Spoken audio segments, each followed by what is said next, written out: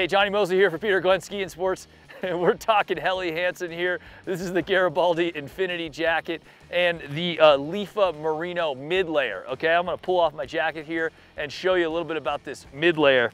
Uh, I've got the uh, Helly Hansen Sonya bib pant on. This is a nice mid layer. First thing you notice, it has little thumb holes to keep it down. So when you put your jacket on, it doesn't come flying up. That's really nice. These little three stripes right here, or multiple stripes, uh, is actually a Helly Hansen brand called Lifa, and that's kind of their um, signature wicking material that they've invented a long time ago. You may notice it on a lot of first layers. They kind of revolutionized a base layer back in the day, but now they've made it even better. So they've added merino wool into it and blended it together, and the result is just a super uh, cozy. If you ever have merino wool, uh, it just it just takes the coziness up another level, but also it, uh, it functions so well, keeping you warm and dry, uh, wicking uh, moisture away. I mean, you can wear merino.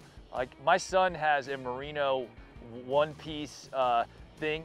We haven't washed it all winter. Doesn't even stink. It's great. You don't even need to wash it. Uh, bonus. Um, anyway, I like having a little pocket right here up on the chest because sometimes you do need to have a little knickknack in there uh, and you don't want to, uh, like a pass or something like that, or sometimes you're just walking around without your jacket, it's really nice to have a pocket.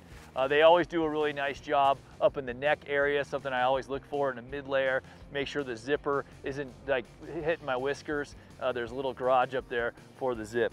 All right, really nice uh, of Merino uh, mid layer from Helly Hansen. Pick it up at peterglenn.com or cruise in the store and pick one up in person. Imagine that. Jonny Moseley for Peter Glenn, Ski and Sports.